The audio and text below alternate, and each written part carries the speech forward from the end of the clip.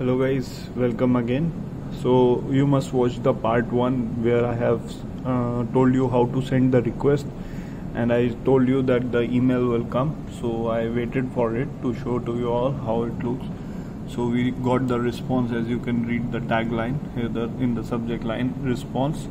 They have automatically detected this computer uh, like ATT was missing. So they have sent back us uh, this update section. Now just we need to apply it and our uh, digital publications will be updated to the latest week.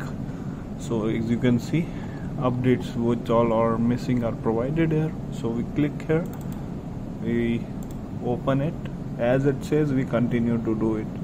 Now what it says like press next to apply updates. Following all this you click on next and it is updating. You see very easy nothing to do too much.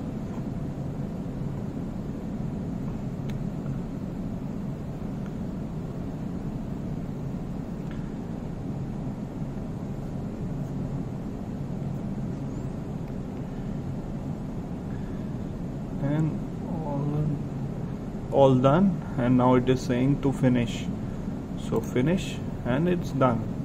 As you can see or it is done. I will shift this email to ADP here. Okay.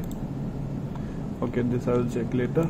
Now I'll show to you that uh, our ADP are updated to the latest week. How is it done? I will show you here. And once you open the wizard again you click on the certificate section to check which is the latest week is updated and uh, all you can see over here is week 30 and how this is how it is updated using the web service. And uh, I mean to send the email to your server pro uh, this uh, service provider. And to do it from the internet also I will show you I will not do it fully but I will show it to you. Open obtain same here you click. Last time you click on the email this time you click on the internet. So just click on the internet click on next and then select and then click and same it will download here in front of you. So like that. So just simple. Thank you. I hope you will like it. Just watch both the parts so you can understand well the full procedure.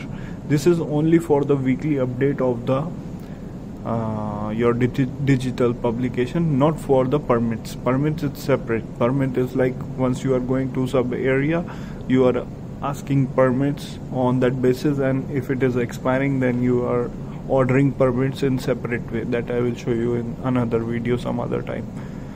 Thank you guys. I hope you will like it